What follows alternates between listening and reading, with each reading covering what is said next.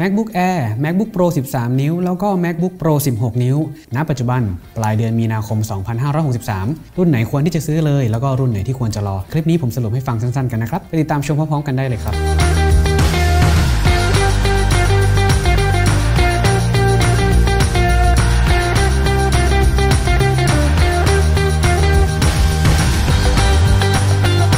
วัสดีครับ ผมต้อมไอวอนนะครับ มาพบกันอีกครั้ง เดี๋ยวในคลิปนี้จะสรุปให้ฟังในเรื่องของ MacBook มีคนถามเข้ามาเยอะเลยว่า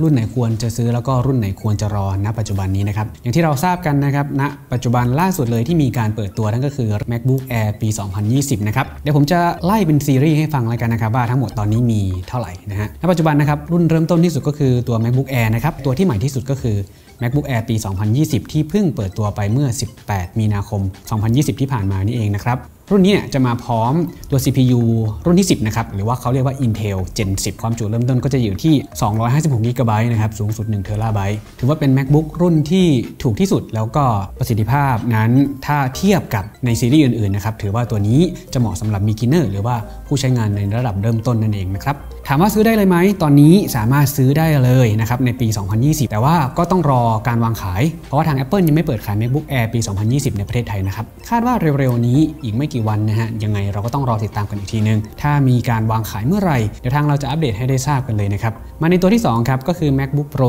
13 นิ้ว เปิดตัวล่าสุดก็เมื่อเดือนกรกฎาคมปี 2019 เป็นการ refresh นะครับเรื่องของการอัปเกรดให้ใช้ Touch Bar หมดครบทุกรุ่นละ แล้วก็ราคานั้นถูกลงมากว่าเดิมนะครับในส่วนของรีวิวของ MacBook Pro 13 นิ้ว ตัวนั้นผมได้รีวิวให้ละ แล้วก็เดี๋ยวแนบลิงก์การรีวิวนั้นอยู่ที่ใต้คลิปนี้นะครับ ตามไปดูกันอีกทีหนึ่งแล้วกัน MacBook Pro 13 นิ้วตัวนั้นนะครับ มาพร้อม CPU Intel รุ่นที่ 8 ซึ่งจะเก่ากว่าของ MacBook Air ปี 2020 นะครับ เพราะว่าปี 2020 ใช้รุ่นที่ 10 ใช่ไหมครับ ส่วน MacBook Pro ของปี 2019 นั้นยังใช้รุ่นที่ 8 อยู่นะครับ ถ้ามองในแง่เรื่องความใหม่ของ CPU ถามว่าณตอนนี้ซื้อได้ไหม ก็ผมให้คำแนะนำอย่างนี้ครับ เพราะว่าข่าวของ MacBook Pro 13 นิ้วนั้นยังไม่ค่อยมีเท่าไหร่ แต่ถ้าสมมติว่าถ้าคาดเดาหรือว่าดูตามไทม์ไลน์ก็น่าจะต้องเป็นสัก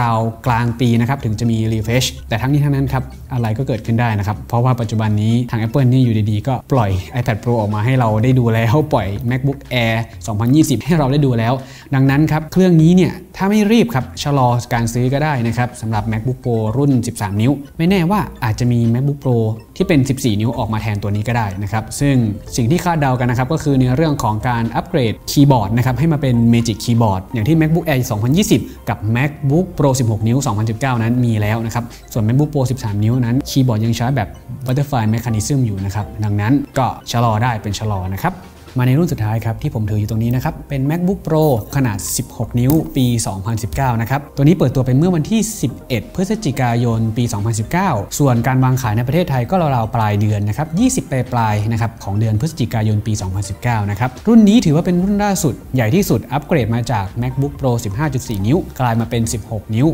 ความเปลี่ยนแปลงหลักๆ นอกจากหน้าจอที่ใหญ่ขึ้นแล้วนะครับก็จะมาพร้อมกับ Magic Keyboard แบบใหม่นะครับซึ่งเราได้เห็นบน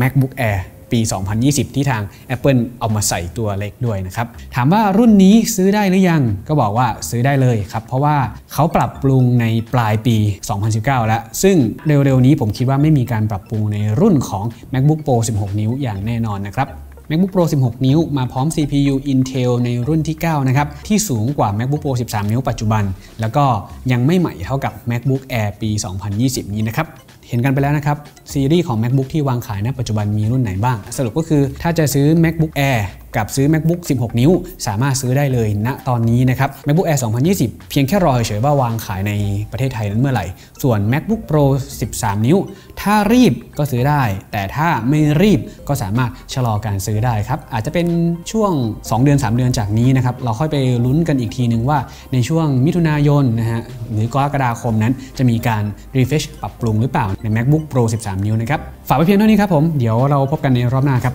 มีอะไรมาให้ติดตามกันอีกเยอะเลยนะครับผมสำหรับใครที่ดูคลิปของ iMod ครั้งนี้เป็นครั้งแรกนะครับ ก็ต้องบอกกันว่าเราพูดถึงในเรื่องของผลิตภัณฑ์ของ Apple นะฮะเป็นหลักเลยนะครับ ไม่ว่าจะเป็นทั้งฝั่ง iPhone iPad Apple Watch iOS iPadOS macOS แล้วก็อื่นๆ อีกหลายอย่างที่เป็นแกดเจิตที่สามารถนำมาใช้กับทางของฝั่ง Apple ได้นะครับ นอกจากนี้เราก็ยังแนะนำข้อมูลเทคนิคการใช้นะครับ แล้วก็คำแนะนำในการซื้อก็จะมีมาให้ได้ติดตามชมกันอย่างต่อเนื่อง ดังนั้นก็ขอฝากช่อง iMode Official ไว้